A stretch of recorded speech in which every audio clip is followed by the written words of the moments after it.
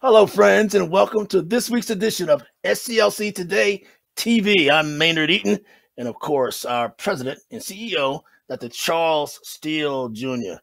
Dr. Steele, we begin on a sad note. The passing of yet another civil rights leader, Vernon Jordan. I imagine you knew him well. Absolutely. Through the years, uh, he's always been a role model. And working with the Urban League is when I actually had the opportunity to meet him uh, with Dr. Joe Zolari and been at several luncheons with him. And uh, as you know, man, we we must carry on, but he has a legacy within his own right. And we thank God for the opportunity of what he has accomplished. There's a gentleman, he's a gentleman who came from a David T. Howell Howard High School right down the street from SCLC's building to become a friend of presidents and a, a, a political power broker in D.C. Quite a journey for him, was it not? Absolutely. Uh, I remember a story he used to tell in regards to uh, him growing up and trying to provide uh, as, as, a high school student as well as going to college. But here in Atlanta, uh, he, he, he was really a chauffeur uh, on several occasions. And I think his father uh, was in the business of, of, of, working in terms of driving the dignitaries around. And in this particular times, uh, uh, I think it was a mayor at that particular time. You're talking about back right. in the 50s, man. You know right. what the perception was. So, uh, to make a long story short, he said that uh, as he was driving and this particular mayor uh, realized that that he could read. that he said, "Boy, you can read." you know, he was amazed uh, at his teenage years that he had that type of ability, and that led him scholastically, uh, you know, to ultimately being a, an attorney and being a great leader in civil rights, including being one of the uh, uh, national, international leaders of the Urban League correct me if I'm wrong, sir, but we look back at the the star civil rights uh, organizations, SCLC, NAACP, National Urban League. My understanding, correct me if I'm wrong, the Urban League was about the boardrooms and not the streets. Was that correct? That's correct. No, that's correct. Uh, they were basically dealing with uh, corporate America and uh, dealing with uh, the opportunities of jobs you know, man, just like playing on a football team. We all on the team, but we have different responsibilities, and um, they they were good at what they did. Uh, they kept the, uh, the, the the status quo in terms of the lack of ability in corporate America with uh, uh, African Americans, people of color, Negroes at that time, uh, in terms of what we didn't have and what we need to look forward to going into. Uh, they also gave the State of the Union message and did a great job on the research in terms of, you hear me quoting different stats. That's what they do. And particularly today, they coalesce with other uh, research teams and give us the facts. Speaking of corporate America, in your backyard in Alabama, Amazon is trying to prevent their workers, mostly black workers, as I understand it, from uh, being unionized. I'm sure that's troubling to you. Well, I've been working with the unions and civil rights for many years. And the philosophy is that I tell corporations, if you treat your employees right, and, and, and, and this is a capsule right to the fact, if you treat your employees right, giving them nice benefits, nice retirement, uh, nice uh, wages, hourly wages. You don't have to worry about anybody interfering and trying to organize in your company. But if you're not treating them right, the union should come in heavy-handedly with all of, of, of, their uh, notable uh, skills and articulation and research in winning over the employees to let them know they have a right to a union. But I don't care how hard a union or any other organization try to come in to win those employees over. It's going to be very hard and difficult if the company is doing the right thing. So what am I saying? You got 50% in one hand, 50% in the other. It's up to you, corporate America. How do you think this will play out uh, with Amazon in Alabama? Have you heard? You got any, any insights into what's well, going to happen? Called me. Some of my friends from Alabama have called me. Um, basically, I heard that Amazon. I'm not giving you the facts like I normally do. Uh, this is from the rumor mill that Amazon will very uh, briefly, swiftly, expeditiously bring about paying their employees at the lowest level, beginning at $15 an hour. That's what I've been hearing, without having the union to intervene. Speaking of hearing, we're hearing, as you well know, uh, that the Voting Rights Act is under attack again, uh, now before the Supreme Court. Lawmakers in 42 states are considering some 250 measures to create impediments to voting, especially mail in voting. Now, Section 2 and others is before the U.S. Supreme Court. I know that concerns you, sir. Absolutely. As you know, uh, redundantly, we talk about the aspect of Section 4 and Section 5 being gutted from the 1965 bill.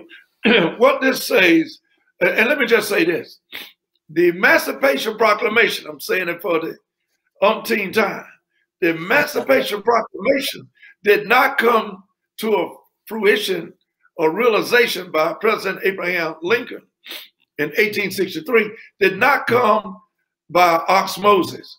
He did an executive order. And all I'm saying that even with Section 4 and Section 5 being gutted, it could have been restored with an executive order. Now, what am I saying?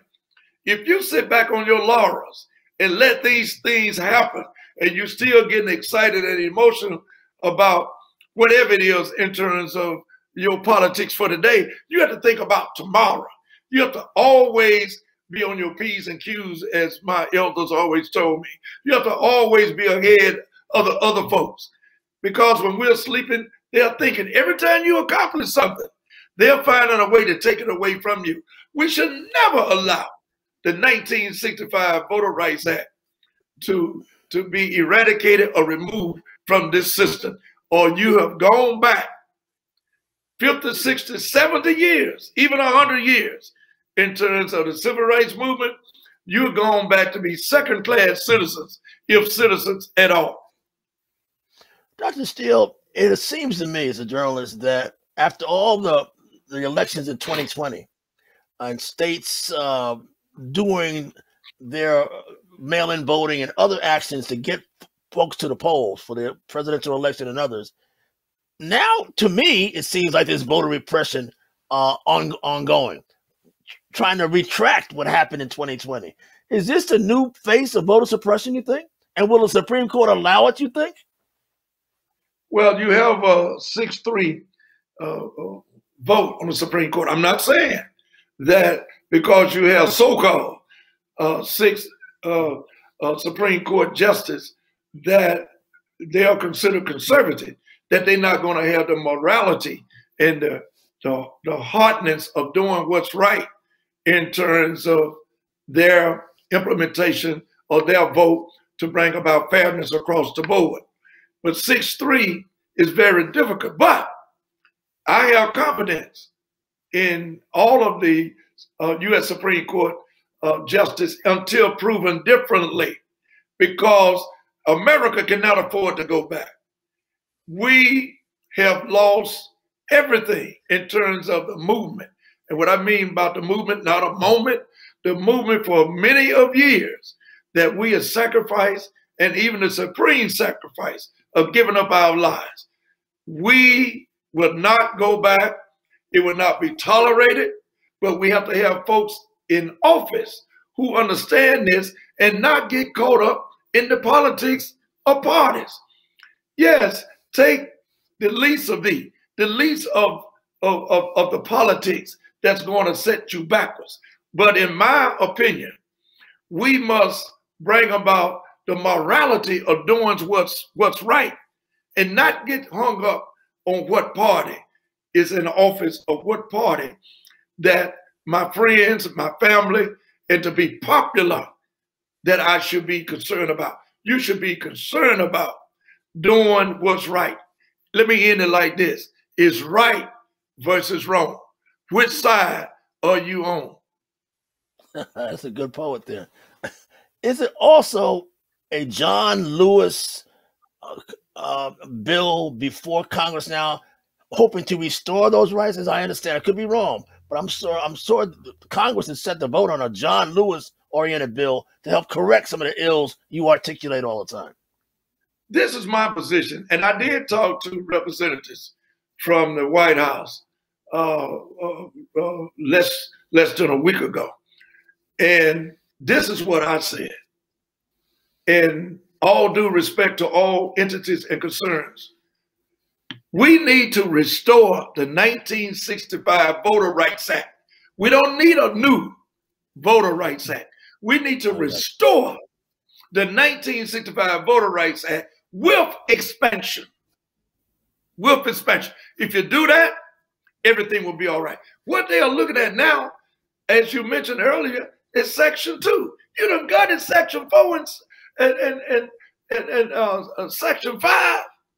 You know, now you want to take away Section 2. What does Section 2 says in the 1965 Voter Rights Act? It says it should not be upon this democracy to have the difficulties of people of color, black, brown, blue, green, or white, but particularly the Negroid race and people of color should not have the difficulties. You should not create them for them to have the access and the accessibility for the right to vote. Plain and simple. And you trying to destroy that. You making it very difficult for the accessibility of people of color and poor people to have the right to vote. That's un-American. It's treason. It's not respect to, to, to the Constitution. And let me just say this, man. If we had the respect as a country to the United States Constitution uh, of America in terms of, of the right to vote, let's just don't go no further with the right to vote. You don't have to have a 1965 uh, a Voter Rights Act from the beginning, even when we got it. If this system was just, and I don't call uh, uh, the, the, the legal uh, system uh, uh, justice department or the Department of Justice. I call it legal system because it ain't no justice there. It, it, it's legal, not justice. And if the law enforcement of this country would enforce the Constitution, we wouldn't need no special bill or special act like the 1965 Voter Rights Act. Well said. Um, were you uh, satisfied with their response, or at least uh, uh, encouraged by their response? Well, they took down what I said. I, I saw uh, uh, um, two of them writing. So um, I might be misled, but I think this administration gets it. I really do, until proven differently. I think this administration gets it. But well you always push the envelope. You have to always don't go off the cliff, but get as close as you can. You know, somebody told me, and I think you echo this, that uh, while we loved uh, President Obama, we stopped campaigning for our rights, for things we needed. You know, we, we did. We needed to be satisfied, uh, but you we can't did. stop campaigning. You, you can't stop. I've learned from you. You can't stop okay. campaigning. Right? Absolutely, absolutely, Mazid. I don't care who it is in office. You cannot stop pushing the envelope. You have to demand.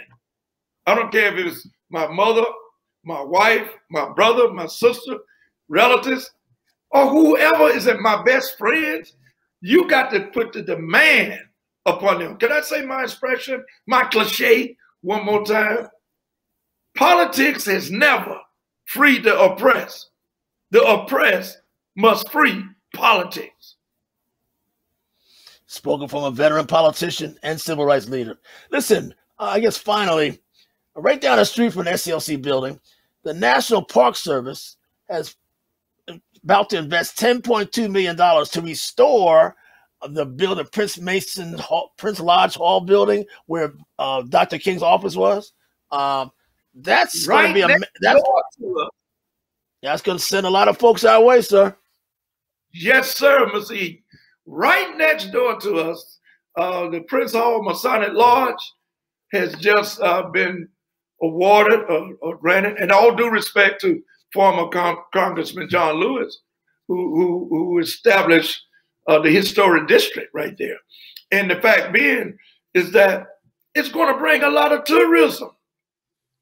You're talking about the office right next door to us, the office of Dr. Martin Luther King Jr., where he wrote all his papers, most of them anyway. Don't forget about the letter from the Birmingham jail, which one of the most uh, renowned letters that he wrote. But many of his other writings came right out of that office, and we are right next door, right next door. And all of the tourism. One of my friends called me from uh, Germany, uh, Berlin, Germany, just on Saturday, knew about this and said, Charles, we are applauding SCLC, Congressman John Lewis, Dr. King about this particular aspect of lifting up the, the civil rights movement right next door to you. And what are you going to do about it? I said, when they leave uh, the, the historical and commemorating of Dr. King and his death, because we got the death. we got the death at our office that Dr. King used. But when they leave the great Masonic Prince Hall office, they coming right next door to SCLC. And we got plenty of room downstairs. As you know, Mr. E, we've been waiting on them. Dr. Steele, you've talked about many opportunities downstairs. You, you're a creative kind of thinking person. Now's the time, though, is it not? Now's the time, and your check is in the mail. ought to leave on that note, but, yes. but that's all I need to hear. but uh, finally, but finally, uh, coming with that building is also added uh, park security, park rangers, uh, more security oh, on Auburn Avenue. Most definitely. But also coming this weekend is the NBA All Star game, where many people fear uh, crime is up, shootings are up in Atlanta. Are you concerned about what may happen around Auburn Avenue, Edgewood Avenue this weekend with people coming to town for the All Star game? Absolutely. I think, man, it was just uh, back here Labor Day, uh, less than a year ago, this past Labor Day. Two blocks from us, there were several shootings and killings. Uh, down on Auburn Avenue. But I was encouraged today. I read the Atlanta Journal Constitution with the uh, interim chief of police saying, and this is very, very pertinent to what we can help adhere to to bring about peace and harmony within our community. He said, don't be so eager to pull out a gun. First of all, you shouldn't have a gun. We don't want you to carry a gun. He said, we're going to do our job. But you need to learn and understand you don't get emotions to the point, let your emotions overwhelm you and want to be violent. You need to discover communicative skills on how to talk to folks and how to resolve your problems with the tongue rather than a gun. I'm a, you've been poetic tonight, sir. I'm gonna leave you on that. Oh note. yes, sir. Yes, sir. the tongue than the gun. You're bringing it out of me. Ladies and gentlemen, this has been SCLC TV, and of course, our poetic president, Dr. Charles Steele Jr. We'll see you next week.